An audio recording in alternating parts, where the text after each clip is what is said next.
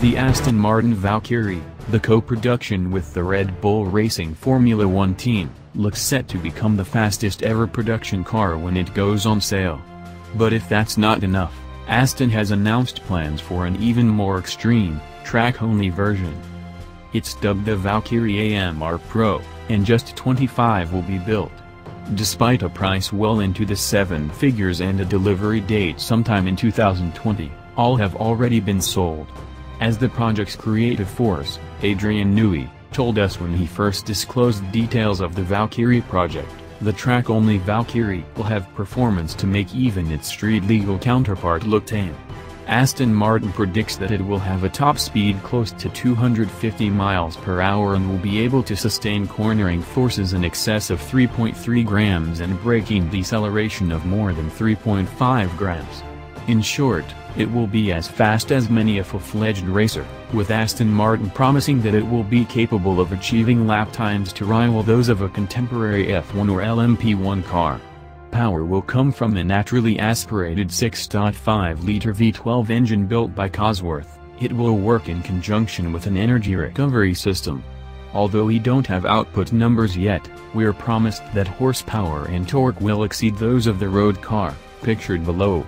Aerodynamic changes include bigger front and rear wing elements and what will be a state-of-the-art active aero system tailored for the demands of track driving. Mass is also being pared to sharpen the power-to-weight ratio, with the removal of what Aston describes as extraneous items from the road car, including the HVAC system and the infotainment screens. The windshield will be polycarbonate plastic incorporating heating elements, and the carbon bodywork will be even lighter than the already svelte road cars.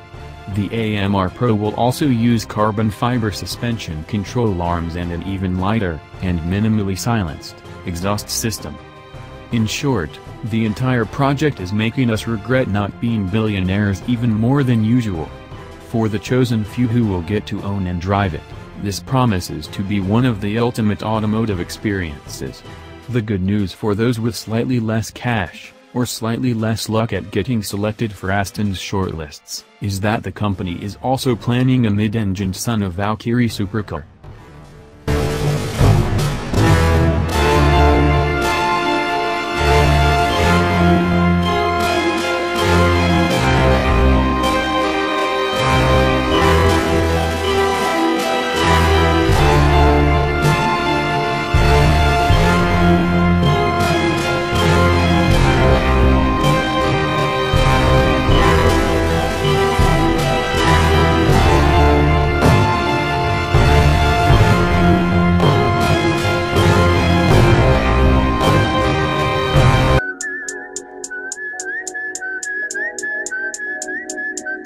Rob Stone, two damn phones, Babylon's came.